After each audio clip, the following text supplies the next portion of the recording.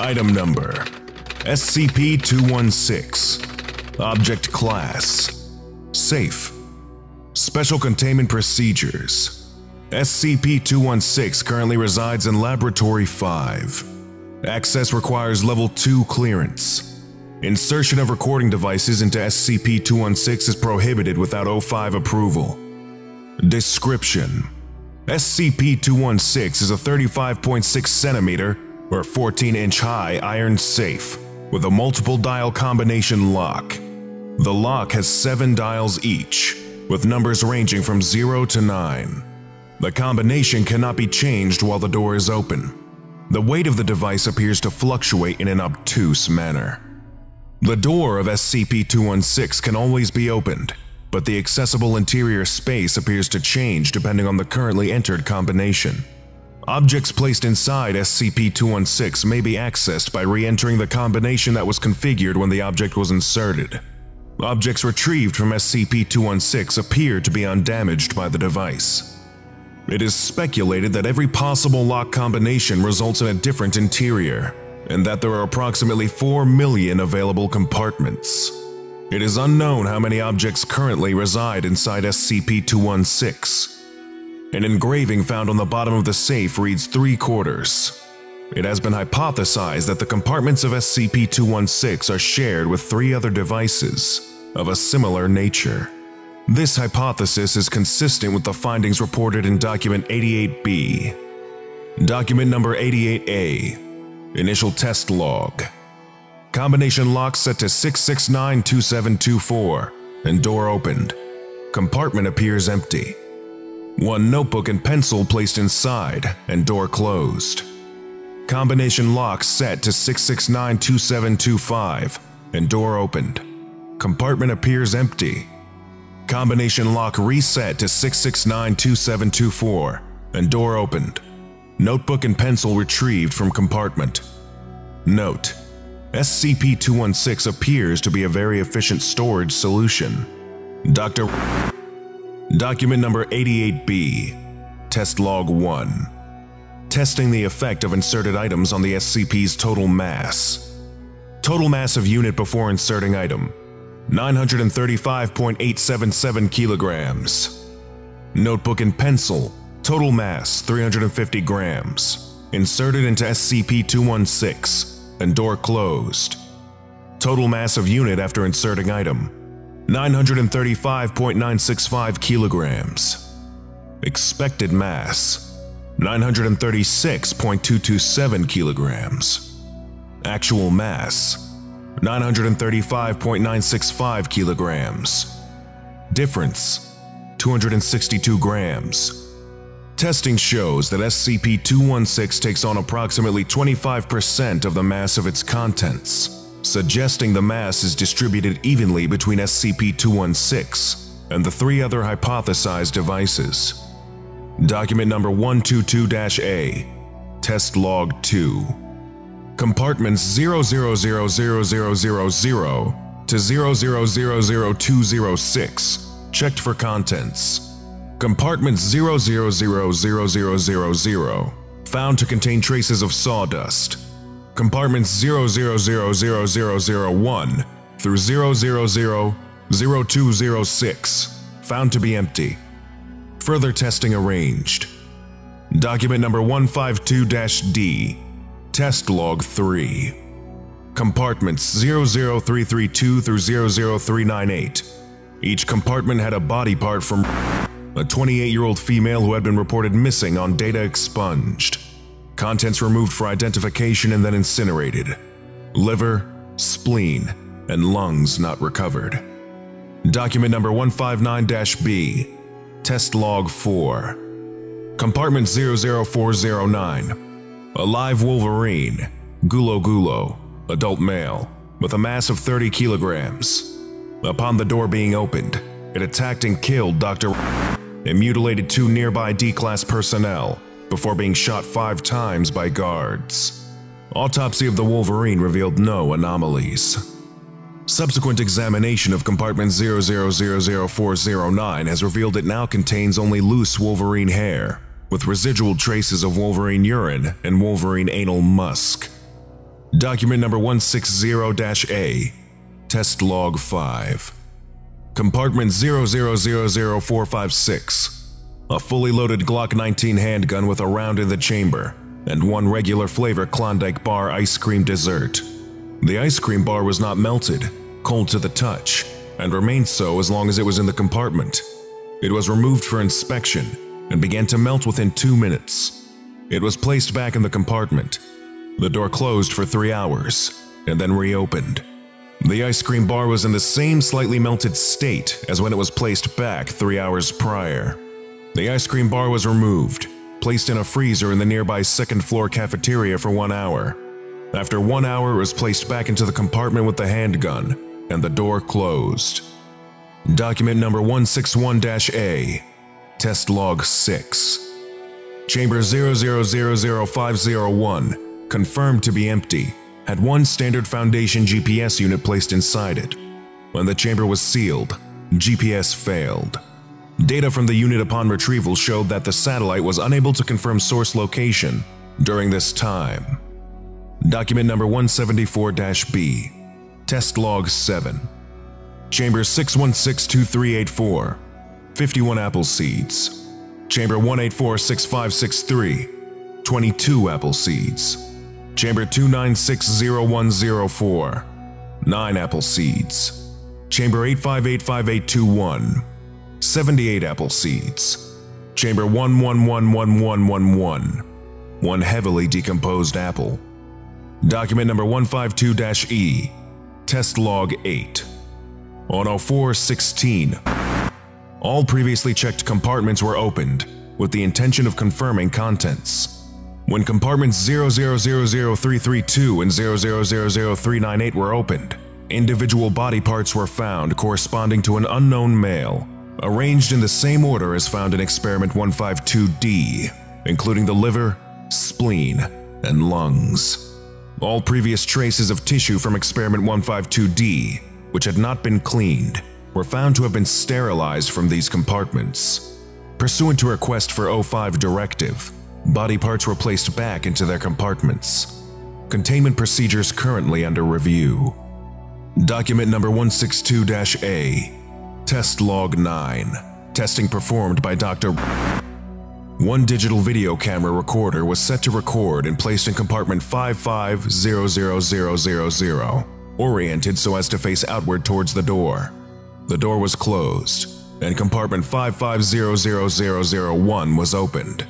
Compartment 5500001 was found to be empty. The door was closed, compartment 5500000 was opened again, and the video camera recorder was retrieved. Upon viewing the recorded footage, Dr. suffered from a transient ischemic attack. The recorded footage shows said doctor placing the video camera inside the safe and closing the door.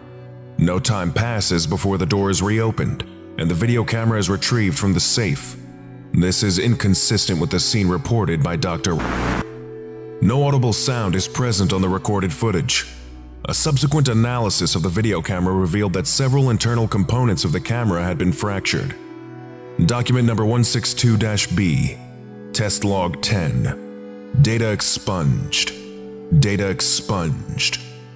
Document number 162-D, Test Log 11. One tape recorder was placed inside compartment 5500000, and the door was closed. Several other compartments were opened and closed before returning to compartment 5500000 and retrieving the tape recorder.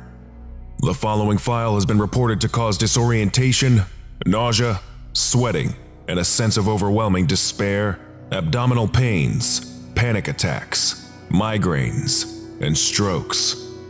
This file should only be listened to in a secure environment do not drive or operate heavy machinery for up to 24 hours after listening to this file. Refrain from making quick eye movements while listening to this file.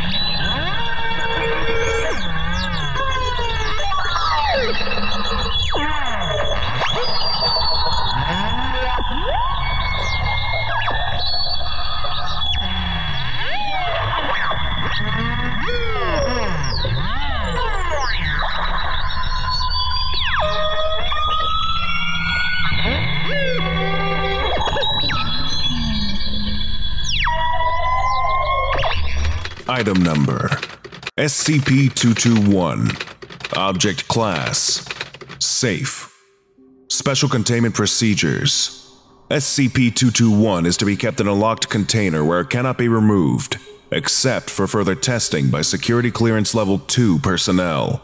The container is a 15.25 cm by 15.25 cm steel box with a cushioned interior and with an internal locking system. The container is to be placed in a locked room with a guard to ensure that SCP-221 is not taken. Description SCP-221 is a pair of tweezers made out of gold, made in the 16th or 17th century. After subject testing, it was noted that the damaged areas which had been used to gather material samples were smaller than they had been prior to the test. It is currently theorized that SCP-221 uses the minute amounts of gold in the human body to regenerate damage to itself. Subject testing revealed that SCP-221 creates a highly focused case of obsessive-compulsive disorder in any person which uses it on their own body.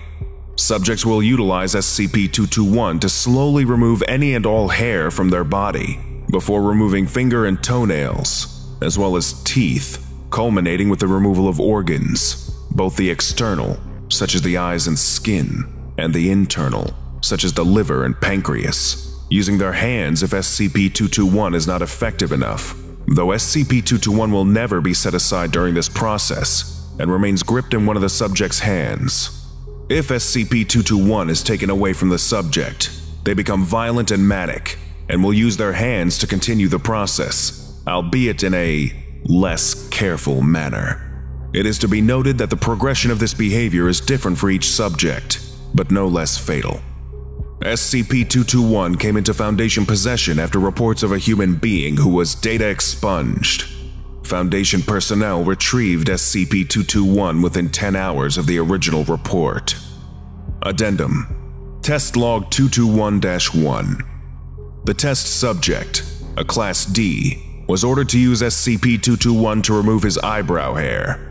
While the subject was initially unenthusiastic about this task, after the first 10 minutes he began to more actively pluck out his own eyebrow hair, and after completely denuding his brow, moved on to plucking out his eyelashes, despite repeated assertions that the test was over.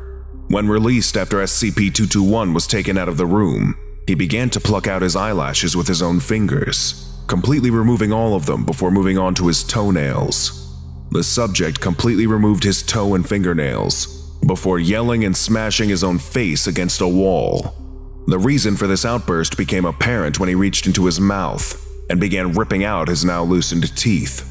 Eventually, the subject died from blood loss and shock, halfway through the task of pulling out his own internal organs. Test Log 221 2 the test subjects were two Class D personnel. Test Subject 1, ordered to use SCP-221 on the other Class D. Test Subject 2. After 15 minutes, the test subjects began to argue about how the holder of SCP-221 was using it on the other.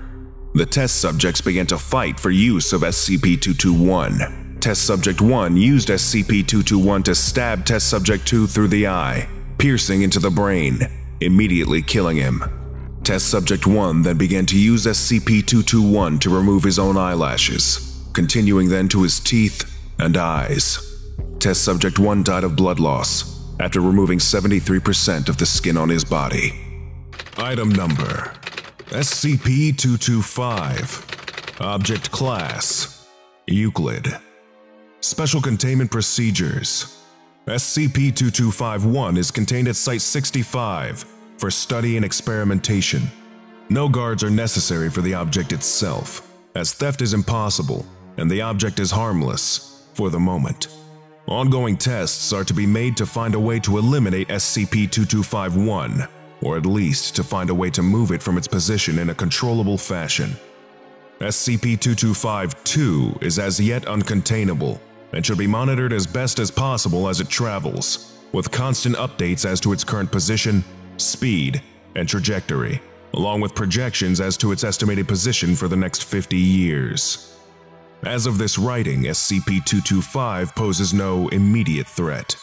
However, In the event that a collision course with SCP-2251 is detected, SCP-225 is to be immediately upgraded to Keter, and every effort must be made to find a way to alter SCP-2251 or SCP-2252 from their courses.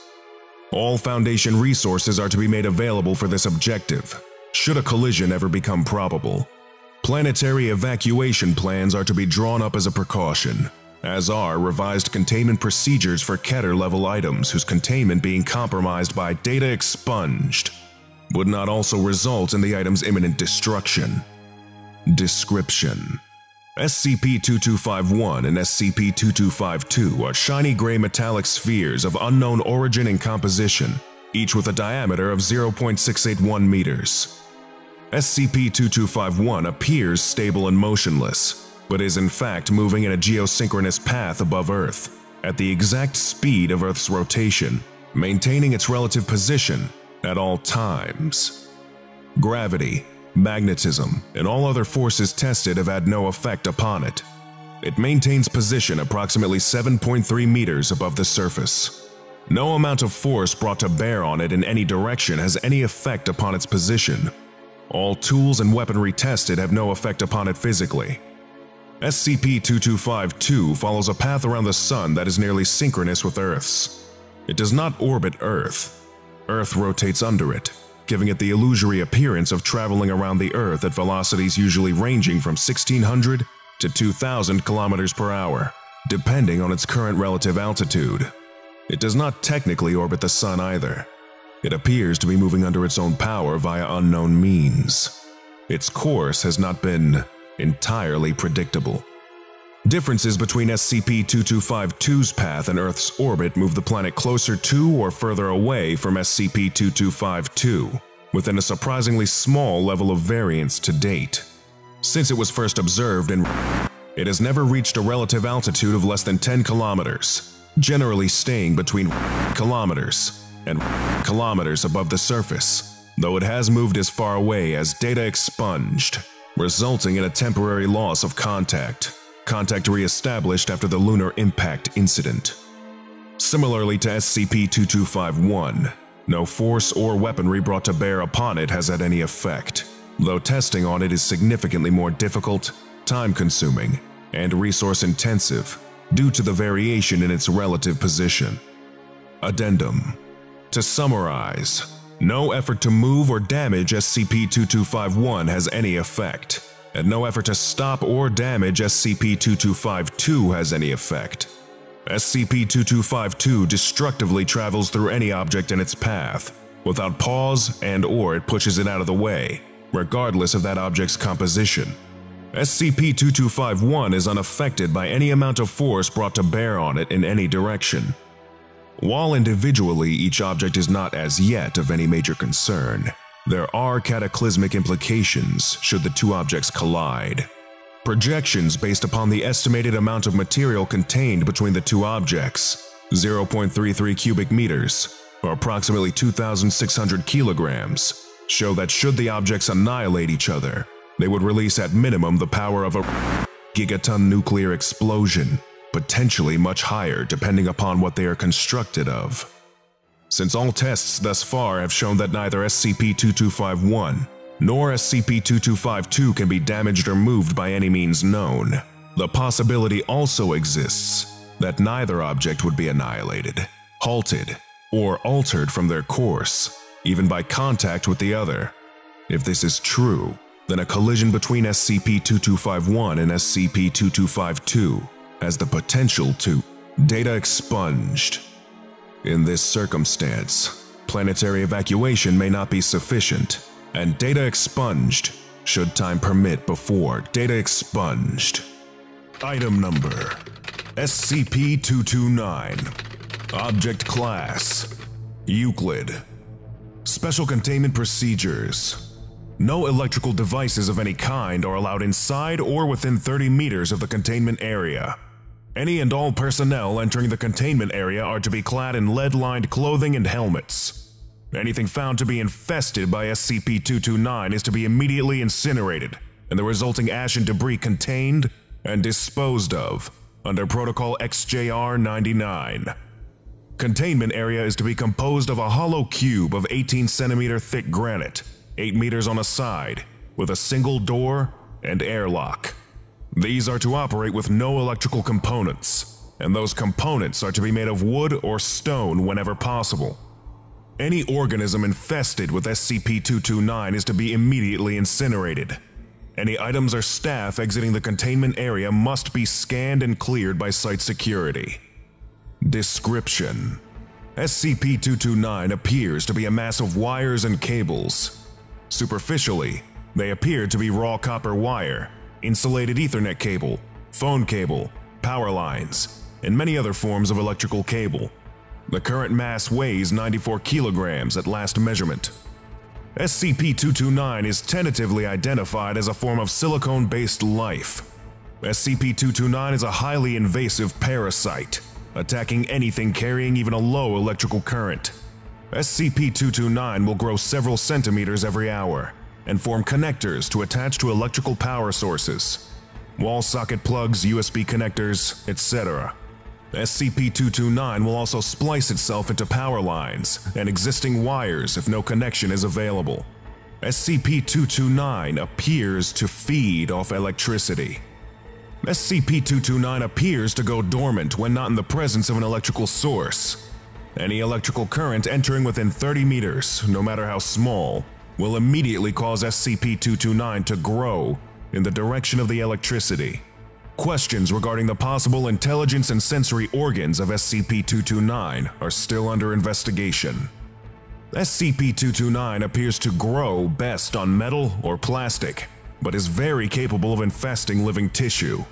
Invertebrate animals, SCP-229 will quickly penetrate the epidermis and other tissues, attaching to and enveloping the spine. SCP-229 will then grow along nerve pathways and up into the brain, attaching and infesting it within a few days. This process appears to be extremely painful and can cause very erratic behavior. When the infested subject nears death, usually from massive internal bleeding and brain damage. SCP-229 will exit the body by puncturing through the skin and attaching to any nearby structures, thus beginning the cycle again. It is theorized that SCP-229 has always been present in our ecosystem, but that the technological level, and thereby the availability of electricity, was insufficient to allow its spread. With the current prevalence of wires and other electrical devices, detection can be extremely difficult. Incineration is currently the best means for SCP-229 removal. Addendum At this time, cross-experimentation between SCP-229 and SCP-217 is allowed only with O5 approval. Item Number SCP-243 Object Class Safe Special Containment Procedures SCP-243 is to be secured in the geometric center of a standard containment cell, no less than 16 meters by 16 meters by 16 meters. The cell is to be connected to an adjacent room of similar size and composition by one standard lockable door. All exits to the cells are to be kept locked and guarded against unauthorized access.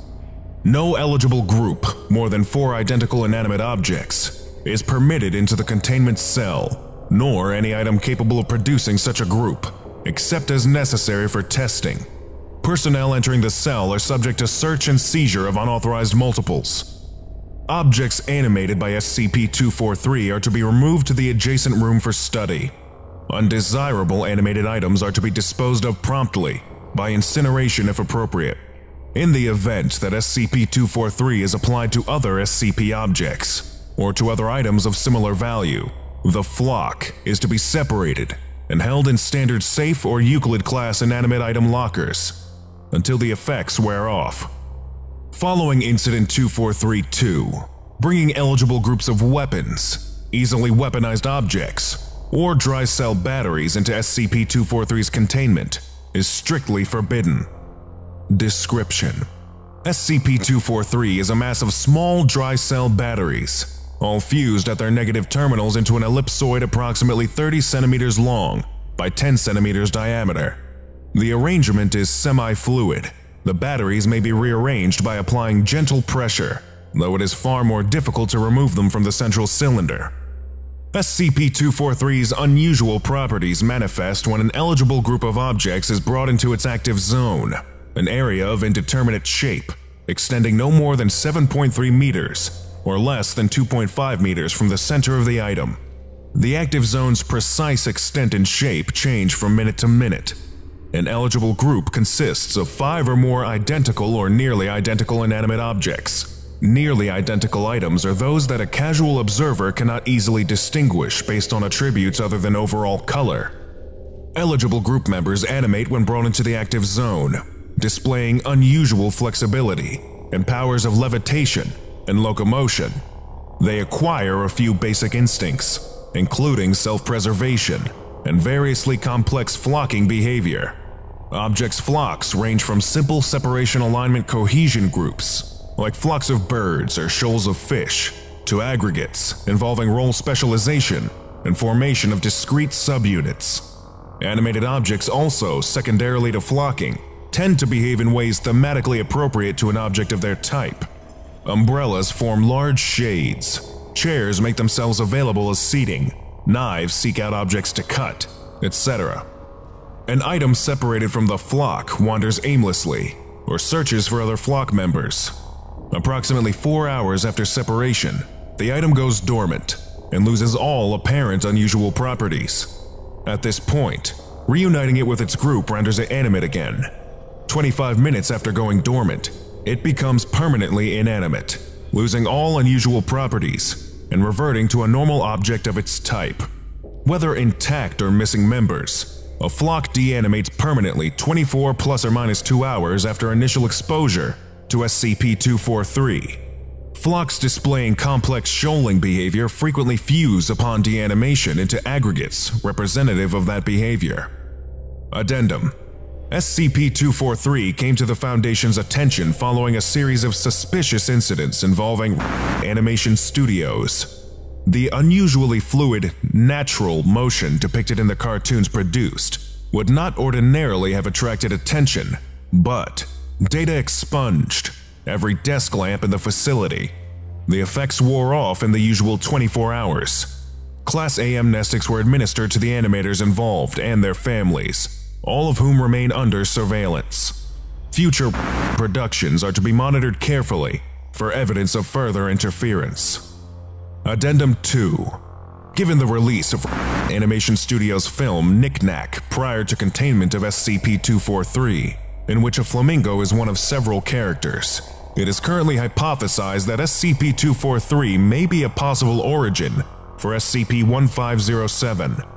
The style of movement observed in SCP-1507 instances matches movement observed from the character in the film, and the effects of SCP-243 would explain the former's flocking behaviors. If SCP-243 is the origin of SCP-1507, it is currently unknown why SCP-1507 has yet to deanimate, or if it will deanimate in accordance to SCP-243's behavior in the future. Item Number SCP-271 Object Class. Keter. Special Containment Procedures.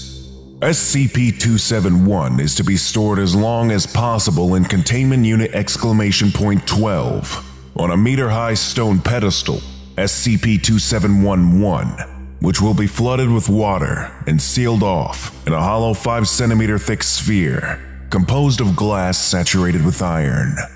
Permanent neodymium magnets will be mounted around the standard-sized room to suspend the sphere in air and repel unwanted intruders. The room will be lined with pyrolytic carbon to contain the magnetic field generated by the magnets, the door to the room is to be left unguarded and disguised as an ordinary janitorial closet and kept locked by an unobtrusive password box mounted in the wall down the hallway and around the corner that appears to be a thermostat.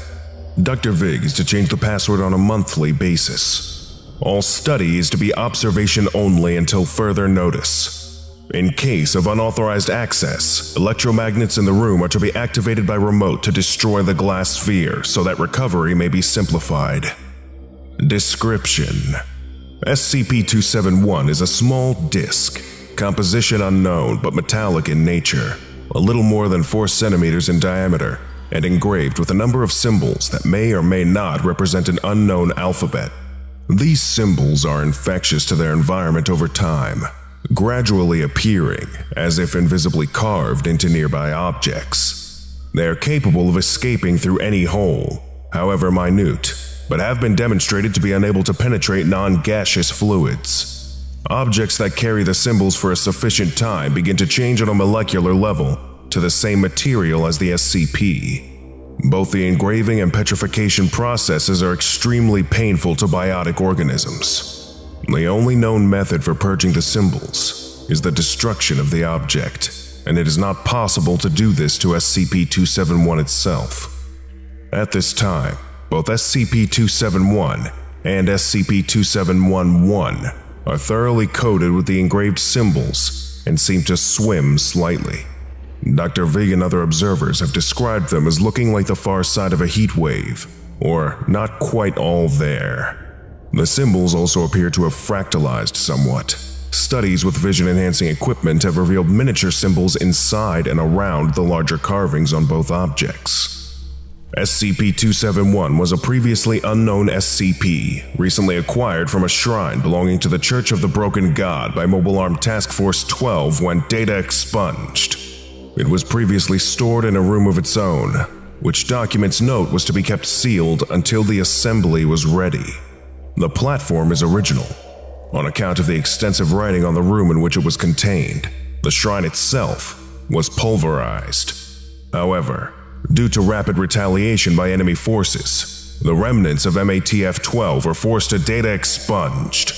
Contact has been re-established, but the nature of the SCP and the enemy seekers prevent easy recovery, and it is currently considered more advisable for the SCP to remain hidden, if comparatively unprotected, than to attract attention by launching a very expensive recovery mission.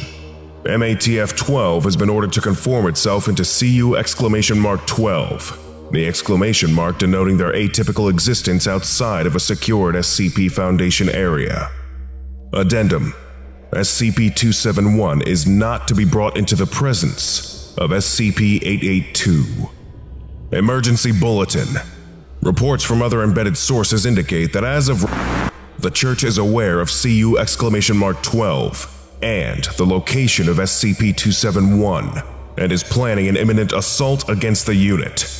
SCP-271 is to be kept out of enemy hands at all costs. CU exclamation mark 12 has been ordered to mobilize and prepare for evacuation. A recovery team is being prepared for immediate deployment under the direction of Agent DuPont. A more detailed report is to follow. Item number SCP-272 Object Class Safe Special Containment Procedures SCP-272 is to be contained in a small wooden box in a vault at Sector 25. Apart from this, no further containment is necessary, as the object is completely inert when not in use. Care is to be taken not to drop the item during transit.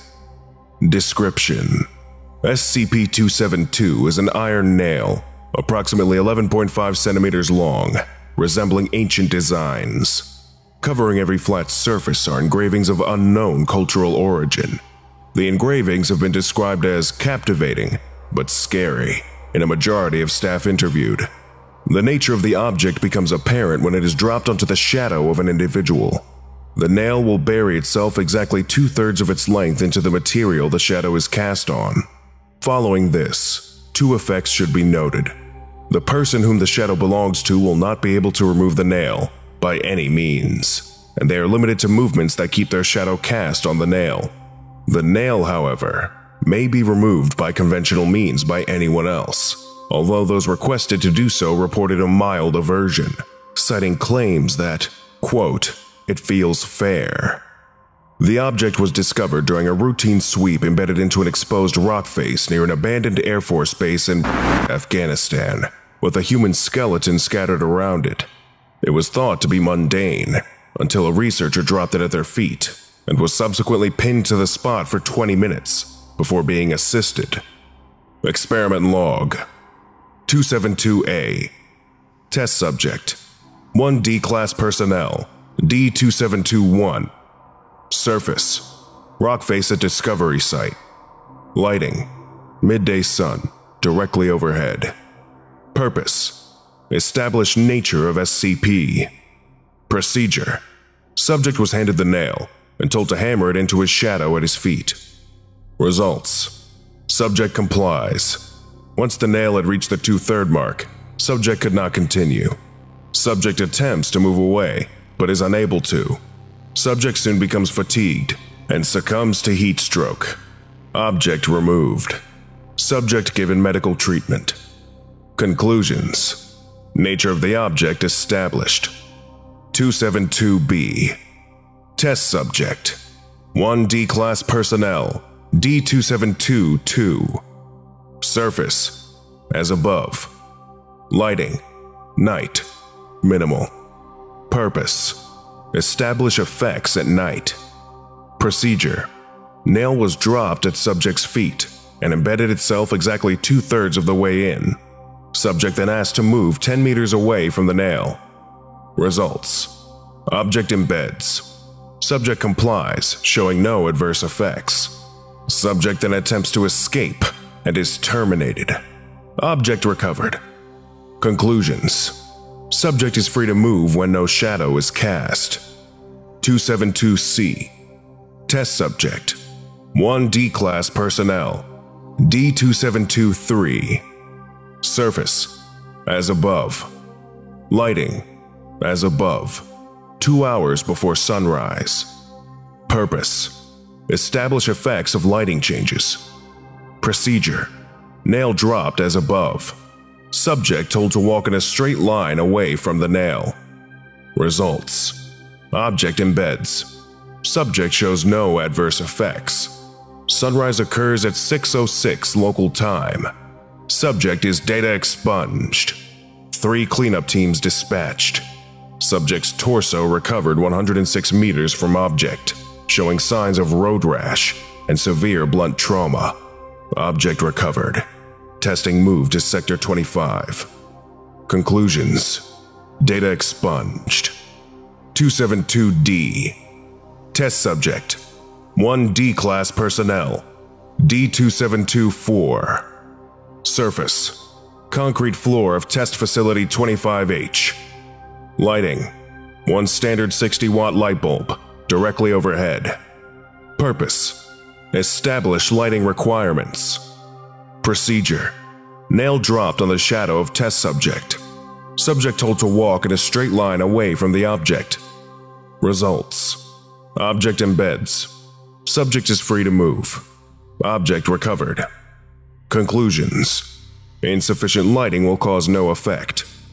272E Test Subject 1 D Class Personnel D2724 Surface As above Lighting One standard 1500 watt stadium light, directly overhead. Purpose As above. Procedure As above. Results Object embeds. Subject trapped. Object recovered. Conclusions Lighting requirements established. 272F Test Subject 2D Class D2724 and D2725. Surface, as above. Lighting, two stadium lights, positioned 90 degrees apart. Purpose, determine if multiple subjects can be held. Procedure, subjects positioned so their shadows overlap. Object dropped onto both shadows. Subjects told to advance away from the nail. Results, object embeds. Subject D2724 continues unhindered, but reports feeling a chill. D2725 is held by the object. Object recovered. Conclusions Object cannot hold more than one subject. Potential secondary effect observed. 272G Test Subject 8D Class D2724 through D27211 Surface As above Lighting Four stadium lights, positioned in a ring around the subjects. Purpose Determine the selection mechanism for which subject is held. Procedure Subject's positioned so their shadows overlap. Nail dropped onto all eight shadows. Results Object embeds. Subject D2729 is held, 18 years of age, Caucasian, 1.8 meters, 88 kilograms. All others free to move. Reports of a scream from all subjects except D2729. All subjects except D2729 seem to shiver. Object recovered. D2729 removed from study. Experiment repeated. Subject D2726 held, 24 years of age, Hispanic, 1.6 meters, 102 kilograms. All others appear to shiver and report a scream, but remain free. Experiment repeated four additional times as per the above method. Discontinued after D2727 fell unconscious. Subject given treatment for severe hypothermia. Conclusions Emerging patterns suggest that the youngest possible subject to be held will be. Additionally, secondary effect on larger groups observed. Further research pending acquisition of a larger sample group. Addendum. Subjects of equal gender distribution, ages ranging from 18 to 59, numerous physical traits represented. 272H Test Subject. 1D Class. D2725 Surface. 1 outdoor field, grassy. Lighting Early morning sun, approximately 9 a.m. Purpose To determine if subject can escape by digging. Procedure Object dropped onto subject's shadow. Subject then given a shovel and told to dig out the object. Results Subject digs for 90 seconds, then falls over screaming. Subject expires before medical intervention could be administered. Autopsy reveals subject died of a cerebral hemorrhage. Cause indeterminate. Object recovered. Field repaired. Repeated with D2727 and 8. Results identical. Conclusions Subjects held by SCP 272 cannot dig the nail out. Attempting to do so is invariably fatal. 272I Test Subject None. Surface NA Lighting. NA Purpose. To determine the object's destructibility. Procedure. 1 D Class personnel D2729 is given the object and a selection of tools and told to go to town in an attempt to destroy the object. Test area evacuated. Results. Subject selected an angle grinder, set the object in a vise, and proceeded to bring the grinder upon the object. An instant later, subject is seen writhing on the ground, clutching his temples. Audio recordings from inside the room record subject speaking in 30 seconds later, subject expires. Autopsy reveals the cause to be a cerebral hemorrhage. Examination of the object reveals some minor damage from the grinder. Conclusions Object appears to be fully destructible, but will resist actions against it with lethal force by an unknown method. Object tested to maintain its original functionality.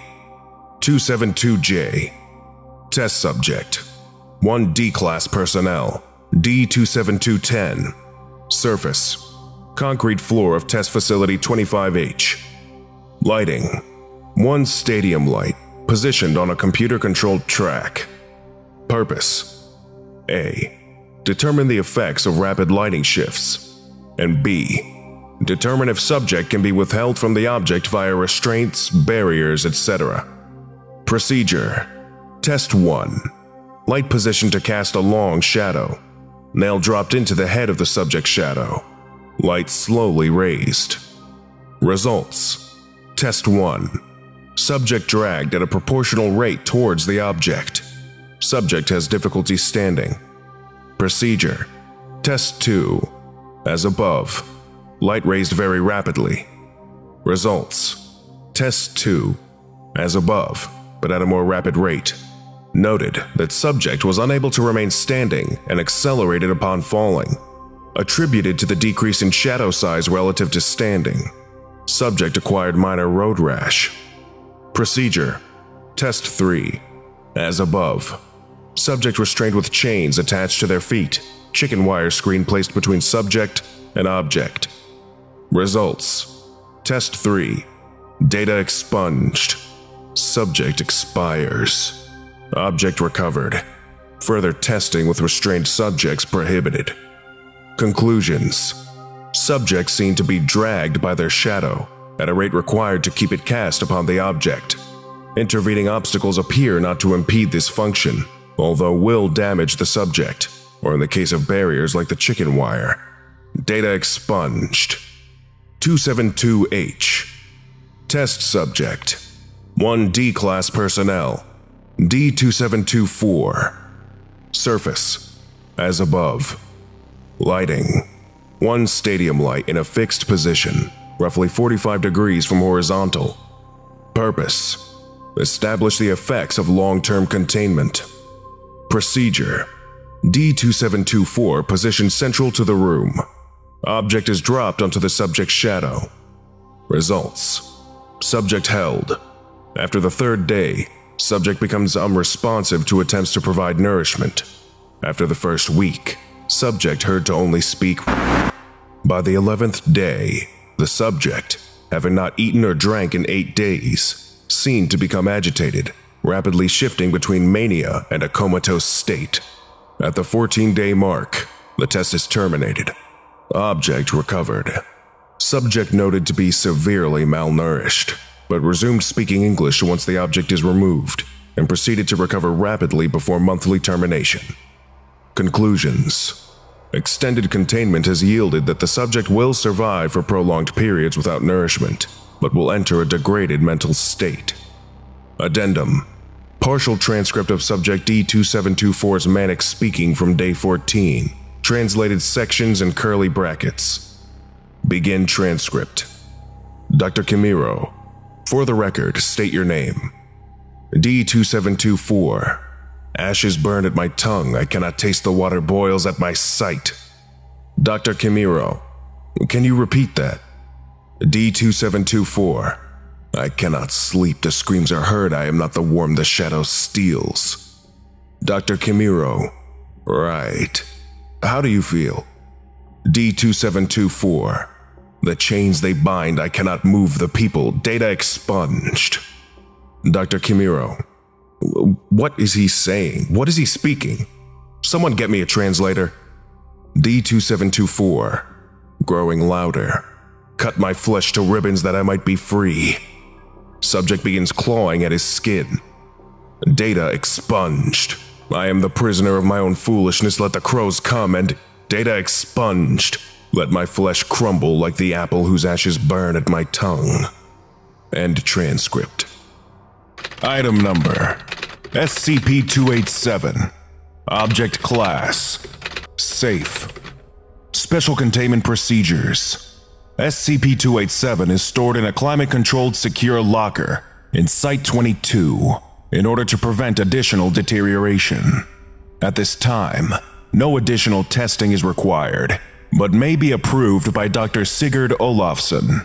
Sources of electricity are to be kept away from SCP-287's locker at all times. If testing with SCP-287 is required, insulated gloves are to be worn to prevent accidental discharge into the hilt. SCP-2871's remains are to be kept in storage until further notice.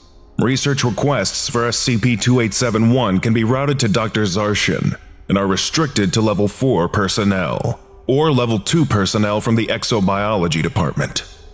Description SCP-287 is a Viking arming sword, measuring 78 centimeters from pommel to tip and weighing 1,077 grams.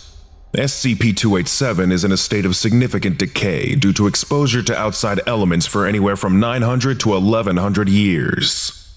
SCP-287 was found in Iceland, alongside several written records.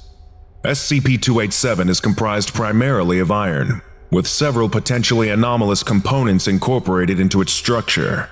Several of these materials have been detected by Foundation probes traveling within extrasolar regions of our galaxy, as well as probes which Carbon dating has placed SCP-287's creation to around the early 10th century CE.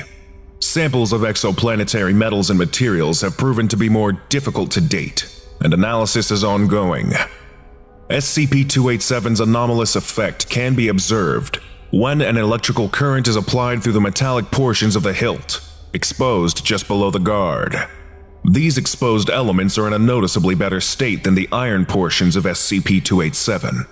SCP-287's internal components will begin to emit several frequencies of EM radiation and varying sounds, invariably described as distressing by research staff and test subjects. Radiation produced by SCP-287 causes all humans who are exposed to it to experience acute audiovisual hallucinations and severe headaches. SCP-287's specific hallucination takes the form of translucent human-like figures in the immediate vicinity, invariably outfitted as members of an armed force.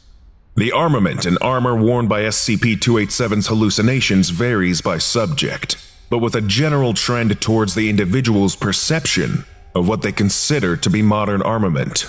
Testing with animals as well as non-anomalous EM fields and sounds of the exact same frequencies do not produce the same effect, in any combination of cases. Higher amperage currents have increased this effect to a maximum of 437 individual hallucinations. Further testing was deemed unnecessary. SCP-2871 is believed to be an extraterrestrial organism, found in the same location as SCP-287. The exact origin of SCP-2871 is unknown at this time, a full report on SCP-2871 can be found in document R27-287-1. SCP-2871's potential spacecraft, designated SCP-2872, appears to be completely destroyed. The current working hypothesis for SCP-2872 is that it was intended as some form of escape pod from a larger vessel. Discovery SCP-287 was recovered from a burial mound outside of Iceland on January 2000. The remains found within the tomb proved to be non-human, and the Foundation took custody of SCP-287, and the remains were designated SCP-2871. SCP-2871's remains are skeletal and are humanoid, though significantly different from human skeletal structure. Additionally, several written sources were found within the tomb and acquired by the Foundation. Dr. Sigurd Olafsson was consulted to help translate the writing enclosed in Addendum A. Addendum A Prepared by the Department of Terra Linguistics. The discovery of SCP-287 was predicated upon reports of ghost soldiers in an area outside of Iceland. A recent storm had struck the burial mound containing SCP-287, conducting current into SCP-287 through a crude lightning rod made of iron. The hallucinations created by SCP-287 affected an amateur film crew. The crew informed local authorities, and Foundation information gathering subroutines flagged these reports as potentially anomalous. Keywords Ghost, Spectre, Crazy, Kids, Hallucination, with a double correlation factor of gamma 6. Class A amnestics were administered to all witnessing parties, and the burial site was declared a heritage dig site through a Foundation Shell Corporation. Within the burial mound, Foundation agents discovered SCP-287, SCP-2871, and additional written materials dating back to the early 10th century CE. A transcription was created by Dr. Sigurd Olafsson. Unintelligible sections are most likely proper nouns, with no direct translation. I am Halvor Skottisson, Skald of Unintelligible, and I have been trusted with the tale of Thor's champion, the Meteor Lord. In the depths of winter, the year after the Great Raid, we saw a fiery meteor in the sky. It landed deep in the heart of the northern wastes, and we followed it. A wondrous thing it was, gleaming and covered in ghost lights. We approached and found a man standing in a heavy cloak, examining the meteor. The ghost lights went dark, and the figure pressed his hand to the outside of the star. A wondrous light filled our eyes as the star opened. He disappeared into the meteor, and emerged to look at us with such fiery determination in his eyes. We knew he could only be a king, sent to us from Odin himself. He would protect us from the raids, and we would know prosperity again.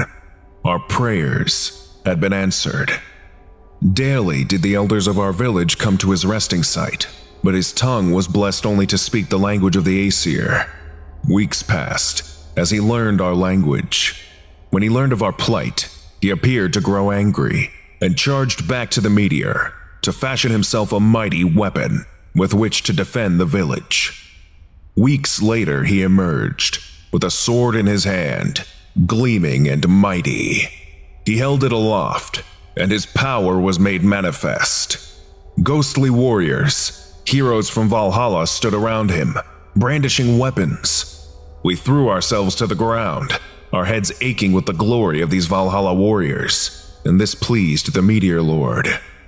For years, when the raids came, we ran in supplication to the Meteor Lord.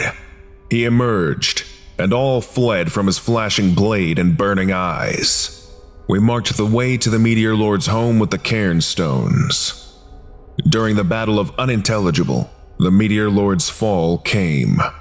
His powers failed him, and Odin recalled him to Valhalla. We buried him with all the honor we could muster, and fashioned a conduit for the great storms from Thor. On stormy nights, the heroes still come and watch over our village, their glory splitting the head of any man who dare look upon them. Addendum B Prepared by the Department of Exolinguistics. Tracing back from the story presented in the included writings, Foundation agents tracked down the meteor mentioned in the epic translated by Dr. Olafsson Excavating the object in question led to an almond shaped craft made of an unknown material. Research regarding this craft can be found in document R27 287. Within the craft, several records were found, written in an unknown language upon crude paper. It is hypothesized that this is some kind of journal of SCP 2871. An exact translation is nearly impossible. However, using a partial translation has been attempted. Timestamp Unknown symbology.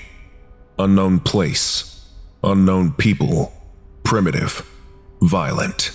Untranslated didn't survive. Everything is lost. Must find a way back. Too many counting on me.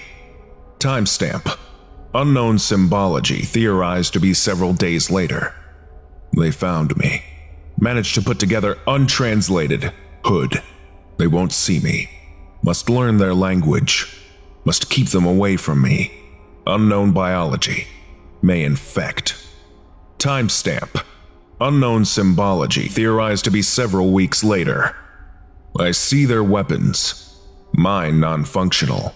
Made one like theirs. Used last of the untranslated. Tuned to alien brain chemistry. Hope it scares them off. Not sure how much longer I can work on untranslated. Not having most likely a proper noun nearby is unbearable, dying, breaking. Timestamp, unknown symbology, unknown time. They came back. I use the weapon, scares them. Untranslated, almost done, may be able to leave. Down to 16 cells, items, Spheres. Timestamp. Unknown symbology. Unknown time. They brought others. I scared them again. Not sure if I can repair the untranslated. Thought I had enough. Closest match was a chemical formula matching SCP-148. Used most likely a proper nouns. Necklace. Still not enough. Timestamp. Unknown symbology theorized to be several years later won't stop coming. Only one cells, items, spheres left. Time running out. Power nearly gone. I can't repair. Untranslated. Too many. Unit of time. It is hypothesized that at this point, whatever power source SCP-2871 was using to activate SCP-287 ran out. SCP-2871 was most likely killed during the next raid without SCP-287 to protect them. Item Number SCP-290 Object Class Safe. Special Containment Procedures SCP-290 is to be held in a 5 meter by 5 meter by 5 meter cell at Site-19. Personnel are forbidden from interacting with SCP-290 except during an approved testing procedure, and any personnel who attempt to do so must be terminated with any force necessary. During any interaction with SCP-290, three guards with full knowledge of the object must flank the object's aperture. Anyone, other than Class D personnel, attempting to enter must be removed from the object's cell. Subjects who undergo reconfiguration are terminated at the conclusion of experimentation. Description SCP-290 is a hollow metallic sphere, 3 meters in diameter, with a circular opening of diameter 90 centimeters cut into one side. This sphere is welded to four metal posts, 50 centimeters in height. Scans have shown that SCP-290 is composed of a combination of aluminum and data expunged, many of which do not match any known atomic structure. All attempts to take samples of the metal for more detailed analysis have failed. The external temperature of the sphere remains constant at 318 Kelvin or 45 degrees Celsius, regardless of the ambient conditions. As no power source for the device has been found, how it maintains this temperature is as yet unknown. Researchers have noted that personnel appear to display slightly elevated curiosity about SCP-290's function, although whether this is evidence of a psychological effect or simply due to its abnormality is not known. Should a subject enter SCP-290 through the circular opening, the aperture will shrink rapidly, rendering the inside section inaccessible. After 5 to 20 minutes, the aperture will reopen. No sound can be heard emanating from SCP-290 during this period. Subjects emerge from this process alive, conscious, albeit often in a state of extreme distress, but with their anatomy significantly altered. Limbs, facial features, and appear to be relocated randomly, yet without losing functionality. Fingers and toes are often removed from the hands and feet, and eyes rarely remain in a configuration lending itself to binocular vision. Almost all subjects report pain and discomfort in breathing and movement, if either remain possible, with most unable to walk or perform any type of effective locomotion. Autopsies performed on afflicted subjects reveal that a similar reconfiguration occurs internally, with organ placement changed and blood vessels and nerves lengthened to fit the new arrangement. Evidence of severe internal bleeding and hemorrhage of other bodily fluids is often present, although subjects display none of the connected symptoms on retrieval from SCP-290, and no subject has died as a direct result of exposure to the object. Subjects' bones show evidence of large-scale fracturing, but also rapid healing, ostensibly a part of the modification process. Subjects remain conscious throughout the reconfiguration. Addendum 291 Experiment Log Subject D59414 Male 18 Supervisor Dr. S SCP-290 Lead Researcher Purpose Ascertain the experiences of subjects within SCP-290. Procedure D59414 was exposed to SCP-290, having had no prior experience with the object. Subject immediately inquired as to its function, to which Dr. S replied, That is what we intend to find out. After several subsequent inquiries from the subject were rebuffed, subject was provided with an IR-sensitive video camera and ordered to enter the object. Subject complied without resistance. Aperture reopened 17.4 minutes after closure, and subject and video camera were retrieved.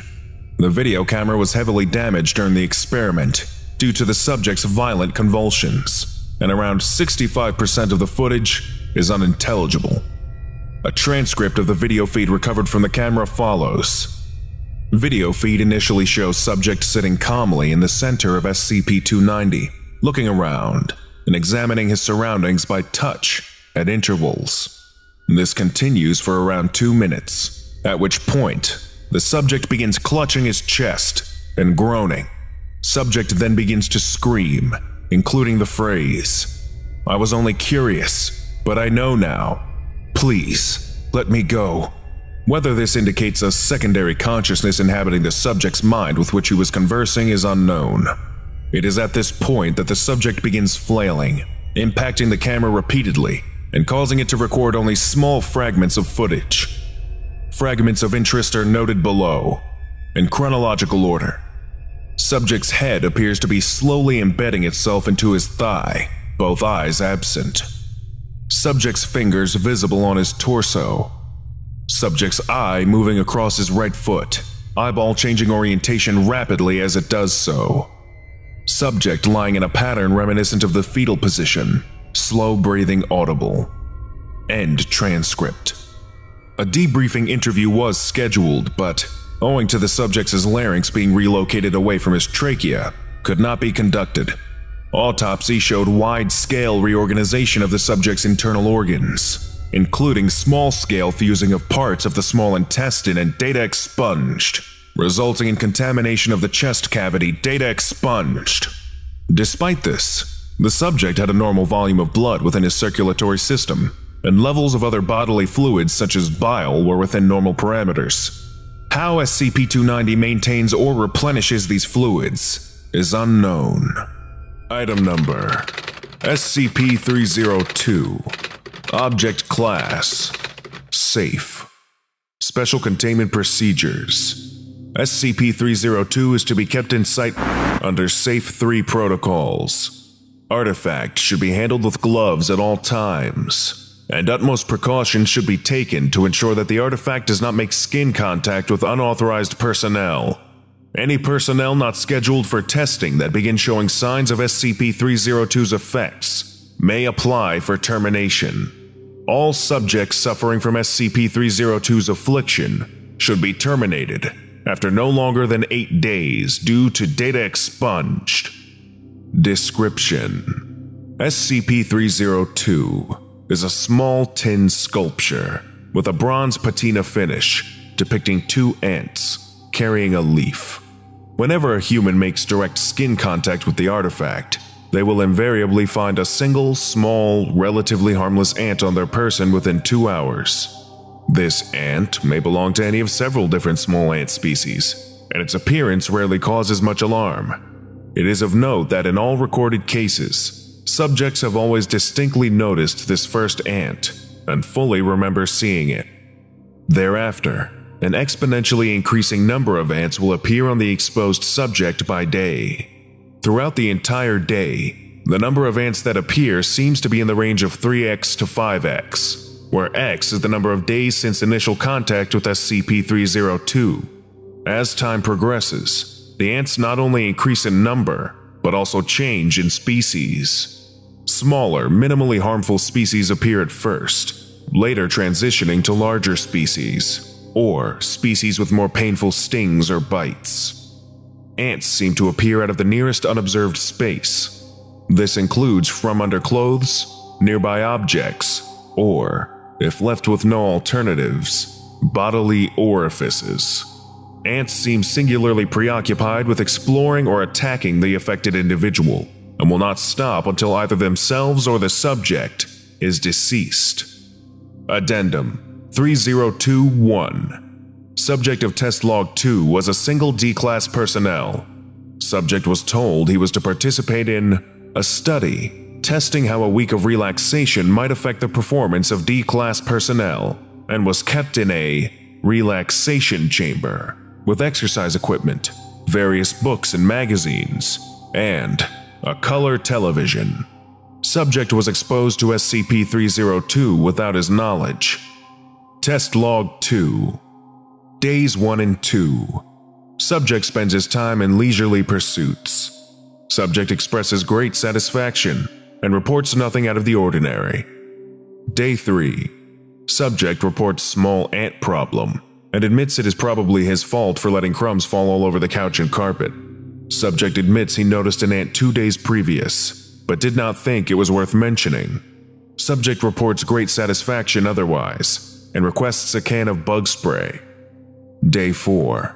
Subject reports that ant problem persists despite his best efforts to spray the room, and that the ants have become more numerous and occasionally painful.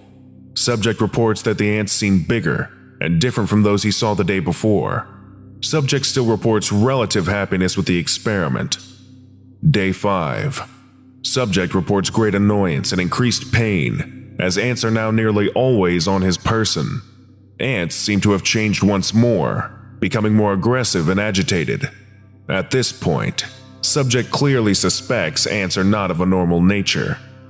Day 6. Subject in great pain.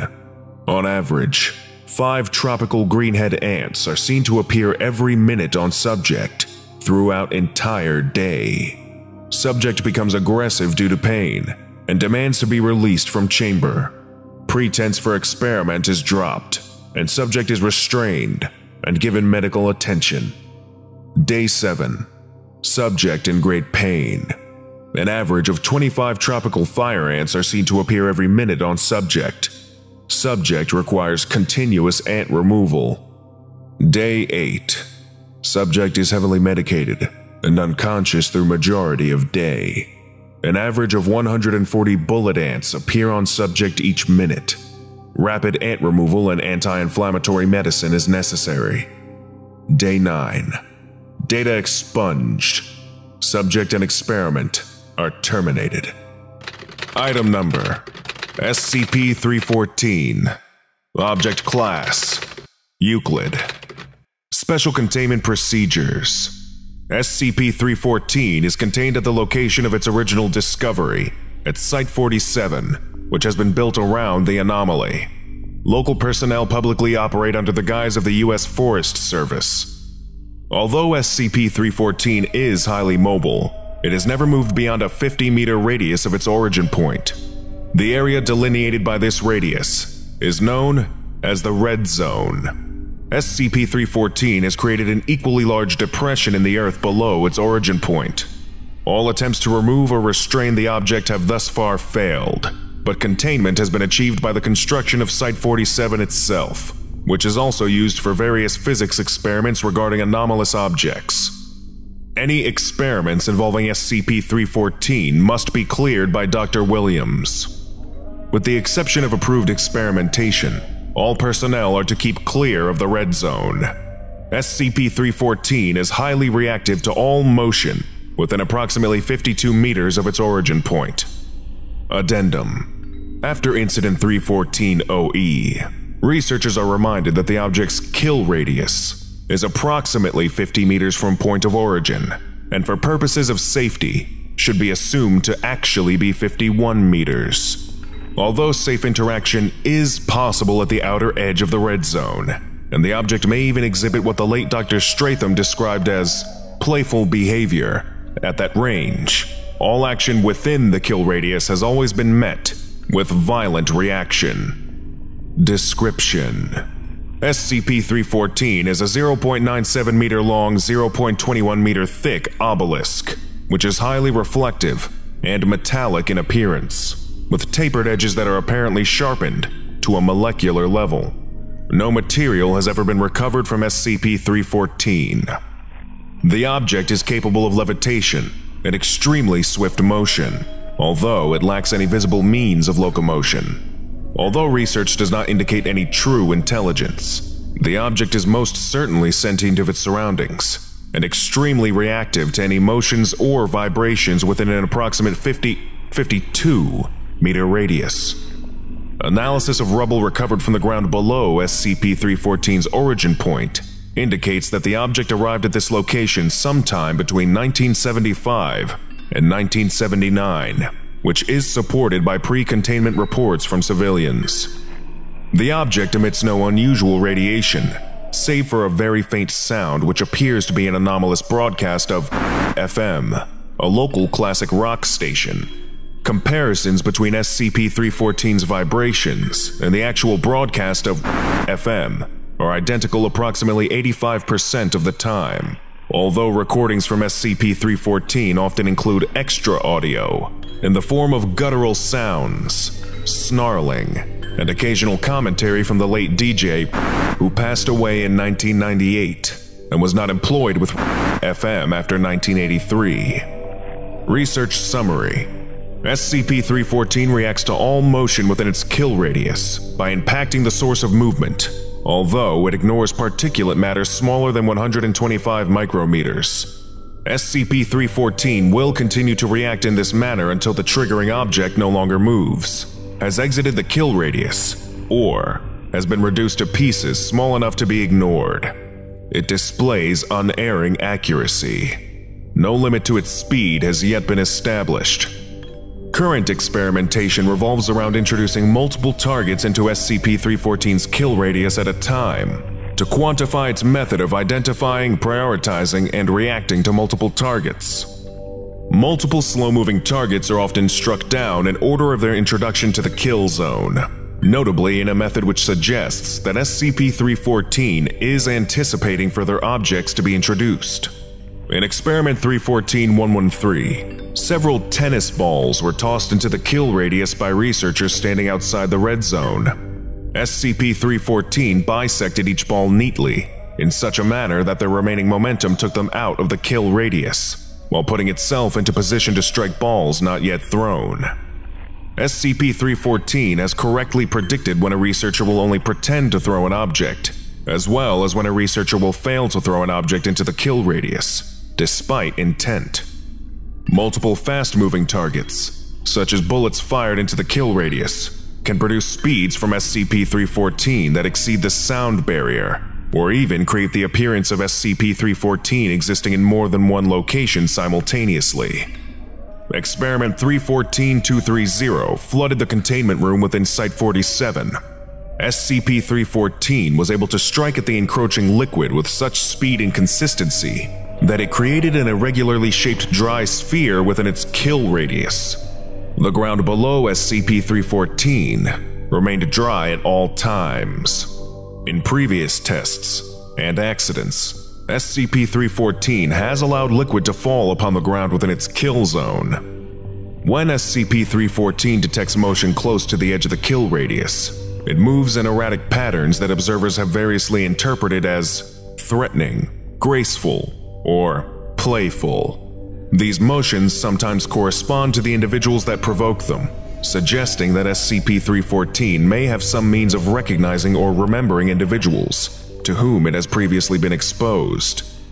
Containment Breach 7-12-2000 At approximately 3.23 p.m. local time, SCP-314 exited its previously defined area of operation and cut through the walls of Site-47 before returning to its place of origin. No personnel were harmed during this event.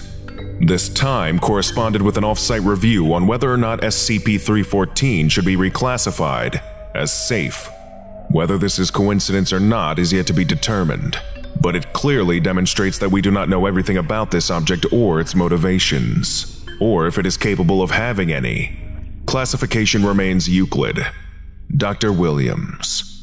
Item number SCP-316 Object Class Safe Special Containment Procedures SCP-316 needs no special containment, other than to prevent misuse by unauthorized personnel. Those operating SCP-316 should wear highly reflective full-body wear to prevent accidental exposure. Personnel privy to sensitive information should be kept out of visual range of SCP-316 due to its ability to induce a suggestive state. Description SCP-316 is a bronze-aged carbide lamp. The casing corresponds to no manufactured models and appears to be homemade. The bulb is ordinary and can be replaced without impeding the function of SCP-316. Internal circuitry of SCP-316 is constructed of an unknown metal, rather than copper. The casing has a battery compartment, which takes two D batteries. SCP-316 does not function unless two D batteries are in the battery compartment with their positive ends facing each other. When switched on, SCP-316's bulb emits a nearly opaque beam of white light. Non-reflective objects and materials in contact with this light have their molecular structure rearranged into patterns which homogenize reflected photons, distributing their wavelengths equally throughout the visual spectrum.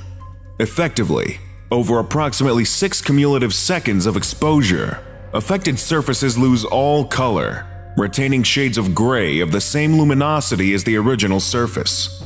Reflective surfaces remain unaffected, but appear to stop as SCP-316's light, rather than reflecting it. SCP-316 has a temporary but more drastic effect on living or sentient organisms. Its effect is spread evenly across an organism, even internally, as long as part of the organism is exposed to its light. Effects set in over approximately 27 cumulative seconds of exposure and gradually wear off over the next 24 hours. In addition to loss of color, most affected organisms experience the following. Color blindness, lower body temperature, low energy, slowed movements, monotonic slurred speech, inattentiveness, short term memory loss, apathy, lack of aggression, negligible emotional response, passive cooperation with instructions, relative lack of desire to lie or deceive, limited capacity for foresight or creative thought. After recovering from the effects of SCP-316, most subjects report symptoms of nausea and depression for up to one week. Almost all subjects, once recovered, volunteer their displeasure at having been exposed to SCP-316 and may violently resist further exposure. Cross-experimentation between SCP-316 and uncooperative living SCPs for the purposes of pacification has been approved. Addendum 316A SCP-316 was recovered from the residence of a colorblind man arrested for counterfeiting in Texas. The man had reportedly attempted to pay for items at a convenience store with colorless bills. A Secret Service investigator noted the apparent quality and validity of the bills, as well as the ink's chemical equivalency with federal ink, and the Foundation investigated. The subject's house was mostly colorless, as it seemed he had been using SCP-316 to navigate at night. Neighbors reported the subject to have been withdrawn and depressingly dull. Subject was terminated and his property destroyed. Addendum 316-B Experiment log of Dr. Blast testing SCP-316 on sentient SCPs. Date Undisclosed. Exposure to aggressive humanoid SCPs. Experiment 1 Exposure to SCP 213. Full effects of SCP 316 confirmed after 25 seconds of exposure. SCP 213 exhibits normal symptoms of exposure. Subject is still able to disintegrate matter when ordered to do so, but to a diminished extent approximately 9% normal speed. Testing concluded. After recovery, subject shows a willingness to comply with Foundation commands to avoid future exposure to SCP-316. Note: My heart nearly jumped out when he started melting matter, but scares aside, this test has proven very useful. We can use SCP-316 to ensure cooperation when these SCPs disagree with us and then hold it over their heads like a whip when they think of doing it again. Dr. Blast. Experiment 2 Exposure to SCP 076 2 Able. Full effects of SCP 316 confirmed after 30 seconds of exposure. SCP 076 2 enters a catatonic stupor, still upright. At 49 seconds, Subject proceeds to dispassionately kill all nearby personnel. Kill switch activated remotely by Dr. Blast. Assistants to Dr. Blast note him hammering kill switch frantically for up to 16 seconds after SCP-076-2 was pacified. Testing suspended. After revival, when questioned, SCP-076-2 remarked that SCP-316 had made him feel extremely bored. What else was I supposed to do? Note. Jesus. I guess monsters don't react the same way to this thing. It's a good thing I opted to stay in Site 17 during the procedure. Dr. Blast. Note. Dr. Blast will be supervising all further SCP-316 testing remotely, as with the previous procedure. Data expunged. Experiment 5. Exposure to SCP-56. Full effects of SCP-316 confirmed after 30 seconds of exposure. SCP-56 changes into a gray replica of one of the researchers in the testing room, shifting between several of them as tests are conducted. Personality and effects of subject remain unchanged. Only the physical form appears to be affected. As researchers read out results for Dr. Blast, viewing remotely via camera, SCP-56 takes the form of Dr. Blast. Microphone in Dr. Blast's area records him shouting an expletive and falling over with his chair. Testing concluded. Note: Nobody told me this thing could breach camera transmissions. I've probably been mentally breached as well. I can feel it already, damn it. My head's probably going to explode. This thing can destroy brains, right? Who the hell designed 56's containment procedures anyway?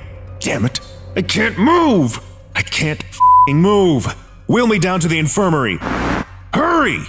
Dr. Blast. Note. Medical personnel found no physical or mental problems with Dr. Blast. Research assistant has requested a transfer. Data expunged. Experiment 8. Exposure to SCP-343. Data expunged and riots in Italy, which data expunged. Effects of in Site 17.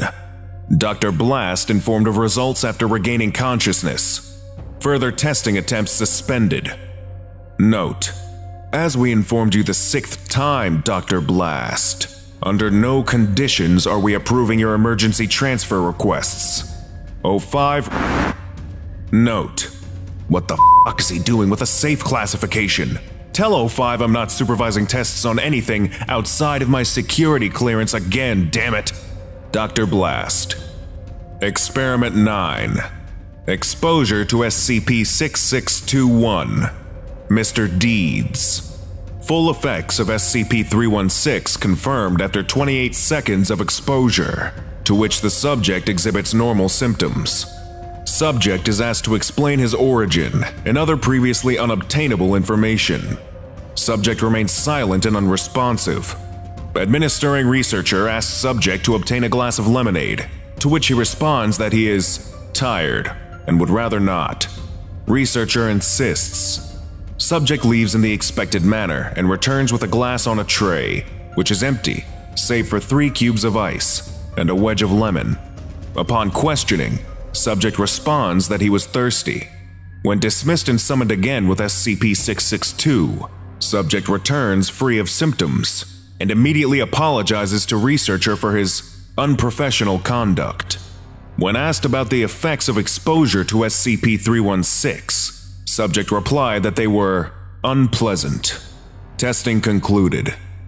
Note, cheeky bastard. Dr. Blast. Awaiting declassification. Item number SCP-339. Object Class Keter. Special Containment Procedures SCP-339 is contained at Site-49. The room containing SCP-339 is 5 meters by 5 meters by 5 meters and soundproofed.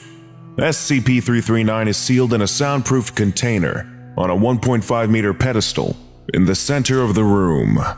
The room is only accessible through an outer soundproofed airlock. All personnel entering SCP-339's holding room for maintenance must maintain absolute silence and wear noise-reducing foam-lined boots available in the airlock. Regular maintenance of SCP-339 is to occur on the 15th of every month and consists of replacing the degraded soundproofed container with a new one. No one is to enter SCP-339's holding room for any reason other than maintenance. Description SCP-339 is a group of tendrils extending off a central mass. It is approximately 50 centimeters from tip to tip, although this is variable. It appears to be made out of weathered copper, but shows a much higher level of durability and independent mobility. The individual tendrils constantly move as though underwater, continuously grinding on the sides of any containment. silently pulverizing it at a gradual but constant rate. Because of this, the soundproofed box it is currently contained in must be replaced at regular intervals. Any noise above 14 decibels will cause SCP-339 to become hostile. During this noise, and for a length of time equal to five times the duration of the noise, any movement within visual range will result in the immediate reaction of SCP-339. SCP-339 will expand by extruding tendrils at an extremely high rate, ensnaring any moving organisms or objects, designated targets. Once the movement has been restricted, SCP-339's tendrils begin to vibrate at rapidly increasing oscillations until the target is rendered incapable of movement. Note that once a target is ensnared, SCP-339 appears to be able to determine when the target truly becomes incapable of movement, rather than merely when it stops moving. SCP-339 will then return to its base shape and size. At this point, secretions of blood and a slurry of bone and muscle tissue from the central mass are to be expected. All movements of SCP-339 are completely silent, even at very high oscillations that should produce noise. History SCP-339 was recovered in Iran in 1953 during Operation Ajax on the part of the Iranian military. It was found in one of Prime Minister Mohammad Mossadegh's private collections. After the deaths of the Iranian soldiers sent to secure this collection, the Foundation was alerted and took control. SCP-339 was found in a velvet-draped room on a pedestal a quote from the Persian poet Sadi was engraved onto the pedestal in Persian. Nothing is so good for an ignorant man as silence, and if he was sensible of this, he would not be ignorant. Item Number SCP-341 Object Class Safe. Special Containment Procedures. The Exhibition Hall of Reliquary Research and Containment Site 76 has SCP-341 on display for all research and command personnel to view. Description A collection of 11 brass and iron orreries found in a large storage room of a basement at Oxford comprise SCP-341. Each orrery is a rough scale model of a different extrasolar star system, complete with planets, moons, and one or more suns in the center. A unique clockwork mechanism under each orrery allows the brass models of planets and moons to spin on axis and rotate around each model of its parent stars. Testing dates each machine to be between 150 to 200 years old, but without any specific markings, researchers have been unable to determine who created them. The orrery collection of SCP-341 was set to be released into the hands of a local museum, until an SCP astronomer with a piqued interest in the discovery recognized one of the orreries, SCP-341-E, as star system Upsilon Andromedae A, unique for being a solar twin of our own sun, with hot Jupiter-like planets. Further research has matched five of the 11 orreries with possible known extrasolar systems, including Beta Canum Venaticorum, 37 Geminorum, HD 98618, 18 Scorpii, one orrery, known as the Wheel of Doom amongst researchers, depicts a similar solar system very reminiscent of our own sols. Though the planets and sun themselves are neither near to scale nor spaced proportionately, the presence of seven major planets of our own system is fairly obvious, including Saturn and its rings, and the tilted side of Uranus. There are also five minor planets included beyond the orbit of Neptune. The orrery is missing a model of Earth, and instead has a free moon roaming through a debris field, similar to the asteroid belt present between Mars and Jupiter. Item Number SCP-359 Object Class Euclid Special Containment Procedures SCP-359 is to be contained within a 30 meter by 30 meter by 30 meter concrete structure. This structure is not to be entered between the hours of 9 p.m. and 6 a.m. local standard time. Any monitoring of SCP-359 during these hours is to be done via security cameras installed within the structure. SCP-359 is to be fed one adult pig every other day. Acceptable substitutions to this diet must be cleared with Agent and Dr. All remnants of SCP-359's prey are to be completely cleaned out of the containment structure by 8.45 p.m. the following day. Description SCP-359 appears to be a metal sculpture of a red-tailed hawk, with a wingspan of approximately 4.3 meters, perched atop a 12-meter arch. During daylight hours, approximately 6 a.m. to 9 p.m. local standard time, it displays no signs of movement and does not respond to any external stimuli. However, it has been determined by the Foundation that between the hours of 9 p.m. and 6 a.m., it displays the typical behaviors of an adult red-tailed hawk, apart from being nocturnal. SCP-359 is apparently capable of flight. The mechanisms through which it accomplishes this have not been determined, as its wings are too short to allow for flight. SCP-359 was originally located just south of in the United States. It first came to the Foundation's attention when local foresters began finding dead bodies of white-tailed deer, Odocoileus virginianus, in the area, within a one kilometer radius of the sculpture, which looked to have been preyed upon. The white-tailed deer has no natural predators in the state of Investigation officially began when motorists on the stretch of state route that passes by SCP-359 reported that the hawk was not on top of the arch. On the same day, a local farmer reported finding the sculpture in his field, standing over the body of one of his cows, which had injuries consistent with predation by a large bird of prey. The farmer was administered a Class A amnestic and fed the story that the cow had died of natural causes and its body eaten by coyotes. Route was closed for repairs, and SCP-359 was transferred to its current containment site and replaced with an immobile replica. Addendum 1 Prior to containment, no evidence existed that SCP-359 had ever attempted to prey on anything besides hoofed mammals. However, since being contained, it has attacked, killed, and eaten four D-Class personnel who entered its containment structure during restricted hours. Investigation into the cause of this shift in dietary preferences is ongoing. Item Number SCP-361 Object Class Safe Special Containment Procedures SCP-361 is to be kept in a standard artifact containment unit in Site-19's High Value Wing. SCP-361 is to be kept in a cool and dry environment to prevent damage to the aged metal it is composed of, and thoroughly cleaned after each use.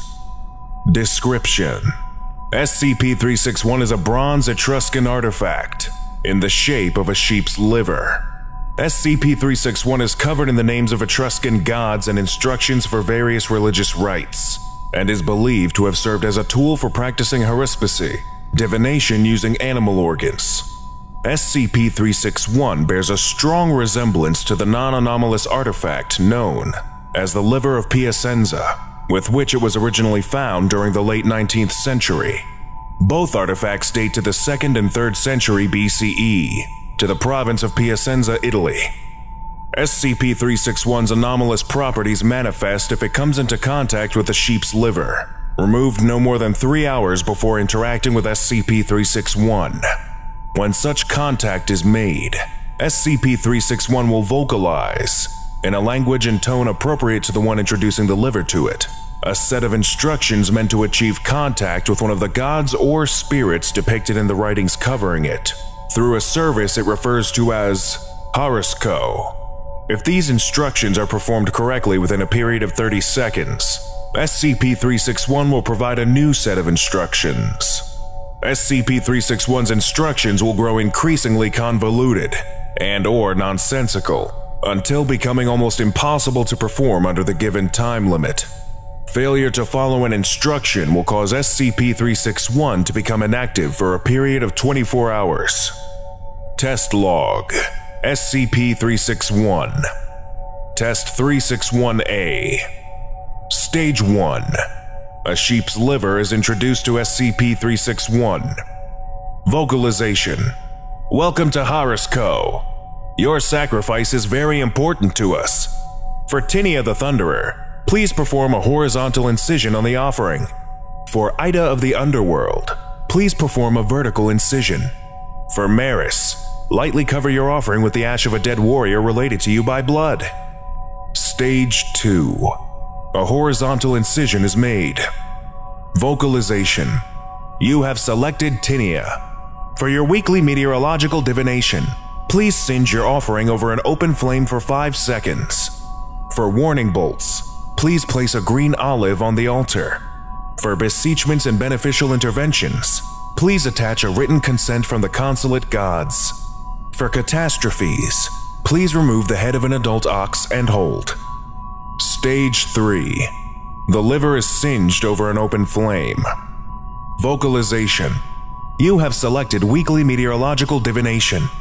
For your local forecast, please perform the seven sacred rites of Tinia while avoiding the anger of the mildew spirits. For forecasts for other areas, please perform the rites upon a boat of three masts or more. For a marital forecast, please consult with your local priestess of Uni. Stage 4 Researchers were unable to comply with the instructions in the given time frame. Vocalization No input was received. This sacrifice will be disconnected. Thank you for using Horoscope, Rasna's number one divination and deistic petition service for more than 2,000 years. The gods are looking forward to your next call. SCP-361 enters inactive state. Addendum SCP-361-A In order to examine the limits of SCP-361's ability to alter the language and tone it uses to interact with its user, a subject with a similar cultural origin to SCP-361 was required. For that purpose, a request for interaction between SCP-361 and SCP-1510, the persona of which originates from the same general area and time period, was made and accepted. Test 361B Stage 1 Subject D1510104, wearing SCP-1510, introduces a sheep's liver to SCP-361. Vocalization. SCP-361 vocalizes in Classical Latin, the language spoken by SCP-15101. The instruction is translated to, Son of Romulus, speak the words thy father taught you, and your watcher will speak, his words carried by our spirit. Stage 2 SCP-15101 chants several phrases in Latin, later identified as an oath to Mars Gradivus. Vocalization SCP-361's instruction is translated to Place the aspect of your watcher at his feet, so he might see your altered form. Stage 3 SCP-15101 requests an open flame. He is given a camping gas lamp. SCP-1510 places the lit gas lamp at the feet of the table SCP-361 is placed on. Vocalization SCP-361's instruction is translated to Speak the duty of your watcher, so he might judge your worthiness. Stage 4 SCP-15101 speaks a Latin phrase, later identified as Mars Gradivus' oath, to guard, preserve, and protect the state, the peace, and the Senate. Vocalization SCP-361's instruction is translated to Show your watcher that you do not stand alone. Does he who guards your left carry with him your watcher's conviction?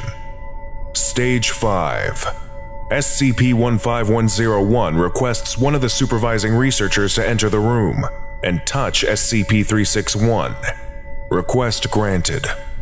Vocalization SCP-361 speaks in a different voice, still in classical Latin. Courage, Publius. This too shall pass. When rust claims your soul at last, valor will make you into Aeneas and carry you beyond these shores to rest among your fathers. The voice was later identified by SCP-15101 as the voice of the persona's father. SCP-361 enters inactive state. Item Number SCP-399 Object Class Safe Special Containment Procedures When not being worn by a human being, SCP-399 is inert.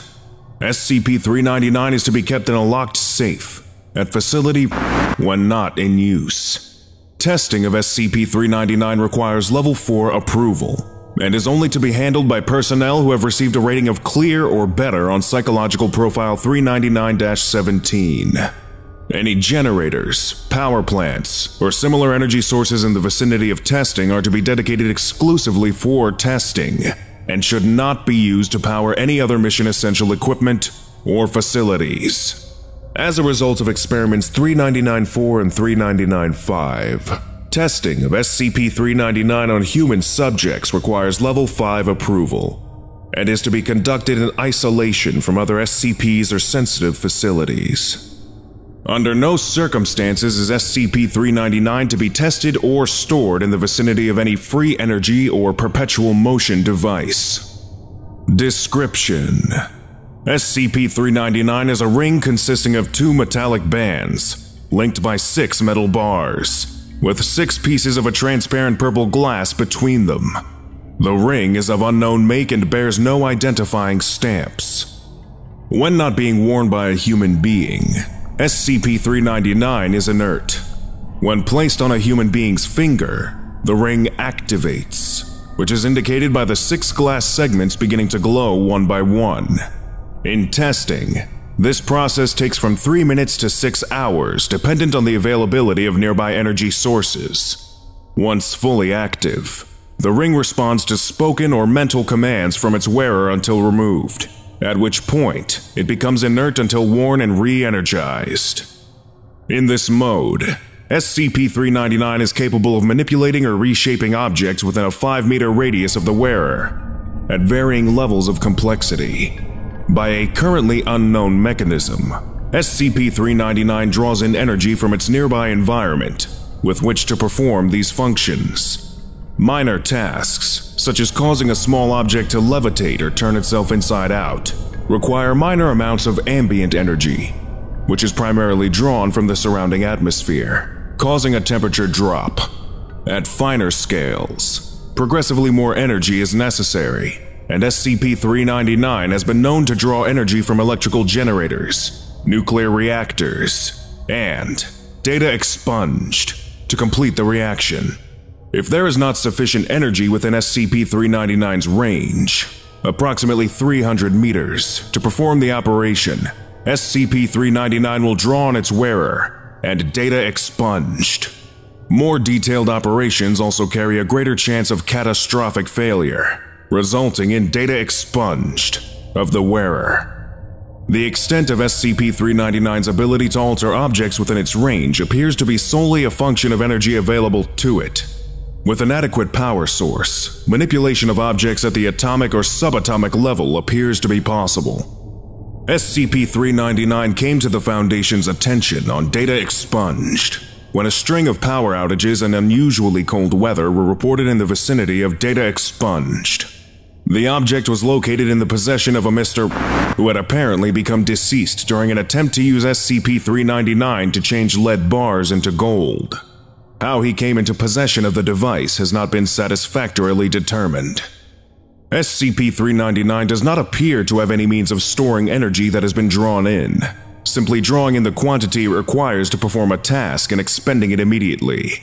It has been speculated, owing to the high energy demands of SCP-399, that it was intended for use in conjunction with a dedicated portable energy source of high volume. Such a device was not found among the effects of in conjunction with such a device or an SCP of a similar nature, SCP-399 could potentially be used to devastating effect, as a weapon of mass destruction, or to neutralize other Keter-class SCPs. Due to the potential negative consequences of a failure on this scale, this line of experimentation is not to be explored at this time. Experiment Log 399 Experiment 399-1 Date Expunged User Dr. Subject 1 phone book User attempts to open book to page 368 Experiment successful Ambient temperature of test chamber drops by 4.8 kelvins. Experiment 399-2. Date. Expunged. User. Dr. Subject. One t-shirt, colored blue. User attempts to change shirt's color to red. Experiment successful. Power brownouts reported in nearby sections of facility. Ambient temperature of test chamber drops by 9.7 kelvins. Experiment 399-3. Date. Expunged. User. Dr. Subject. One phone book. User attempts to cause text of book to be translated from English to French. Experiment successful. On-site electrical generator overloads and fails causing loss of primary power to facility for 6 hours. Ambient temperature of test chamber drops by 17.4 kelvins. Experiment 399-4. Date. Expunged. User. Dr. Subject. One phone book. Three D-class personnel. Special test protocols. Experiment 399-4 was conducted in remote facility. All electrical sources in the area were deactivated except those necessary to power monitoring equipment. User attempts to cause text of book to be translated from English to French. Experiment successful. D-class personnel are data expunged. No significant reduction of ambient room temperature. Experiment 399-5. Date Expunged. User. Dr. Subject. Remains of one D-Class personnel from Experiment 399-4. Special Protocol. Test conducted at remote facility. A dedicated nuclear reactor was provided as energy source. User attempts to restore D-Class personnel to his physical condition prior to Experiment 399-4. Nuclear reactor reaches 57% capacity. Subject is successfully reconstructed physically intact, but remains deceased. User attempts to restore subject to life. Data expunged. SCP-399 was recovered by hazmat personnel 48 hours later. Weather patterns in vicinity of facility site normalized within 96 hours. Radiological contamination of the region has been deemed within acceptable limits. Note: Following the loss of Dr.